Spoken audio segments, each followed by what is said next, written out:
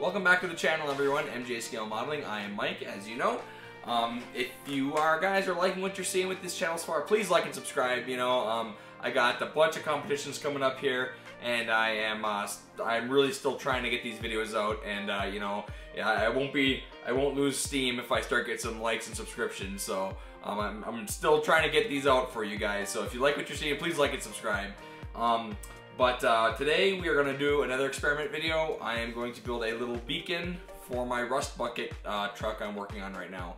I, I, uh, I, I realized that um, it didn't have a light on top of it, so I am making a little rotating beacon out of a little plastic retention clip that uh, um, came with my uh, son's toy for Easter, uh, cap off of my wife's hair detangler bottle, and uh, two leftover lenses, uh, headlights from another model. Um, and uh, we're going to see if we can make a, a beacon for the truck. So um, little experiment. It might go good, it might go bad. So uh, let's uh, let's get to it and see where we end up. So I actually had three caps I was uh, debating using. I had one from a bottle of apple juice for my daughter, one from water bottle, and then one from my wife's hair detangler. And the one I liked the best was the, the one from the hair detangler, but uh, unfortunately it was just way too tall. And uh, so I decided I needed to cut a chunk off of it. But I liked the uh, flanged bottom on it, so I, I didn't want to lose that, so I ended up uh, cutting along the very bottom of it and uh, removing the bottom and then taking off like a quarter of an inch or so and uh, then I reattaching it to the bottom portion uh, so it would have that kind of flanged out look for when it sat onto the truck.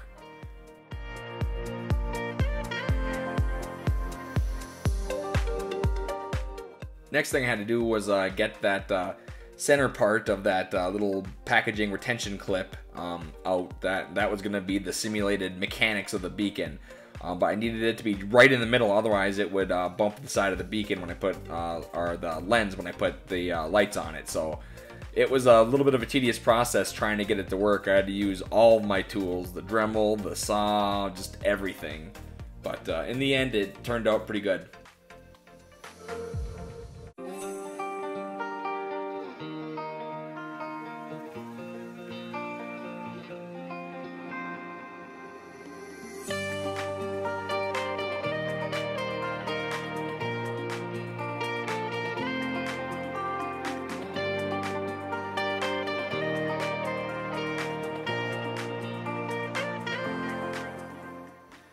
Once the center portion fit inside the bottom of the uh, cap, I uh, laid it on a flat surface and uh, super glued it in there and just kind of made sure that it was as level as could be um, to, to so it would sit properly on the truck.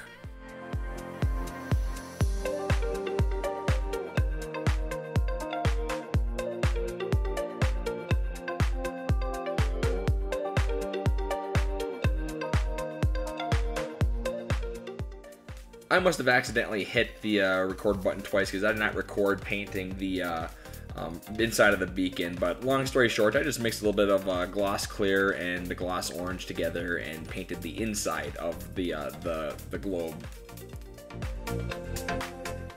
And I'm just affixing these lenses to uh, the rotating beacon with a little bit of super glue. I do a little modifying on them, but they turned out just just perfect.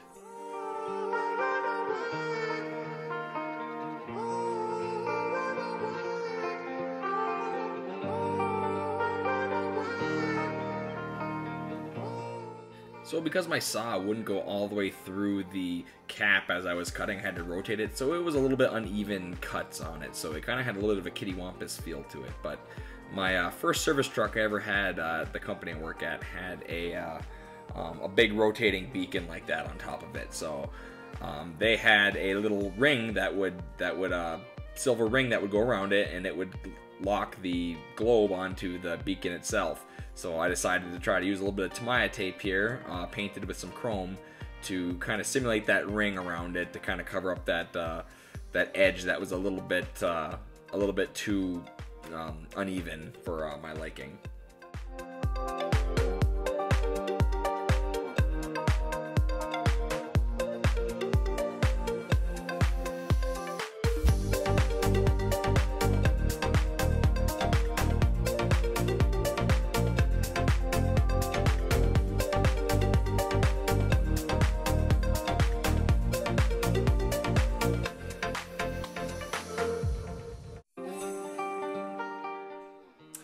Okay, guys, thanks a lot for sticking with me to the end again. Um, I think we had a pretty successful experiment again here. I think we got a pretty cool old-timey looking beacon made out of that uh, that junk I had. So a good little scratch build um, um, on our kit bash truck. So I think that turned out pretty dang good for uh, materials we had. So uh, you know, if you thought that was kind of fun and you have any other suggestions how I could have made it better, you know, like and subscribe and leave a comment. And, uh, you know, let's, like I said, let's learn to build bottles together. So, again, really appreciate you guys stopping by and watching another uh, video with me. So, okay, we'll see you in the next one. See ya.